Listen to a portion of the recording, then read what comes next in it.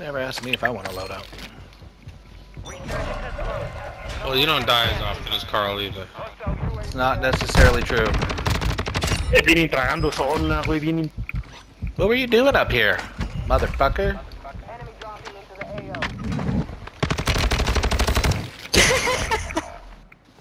Fall off, fucker. Fall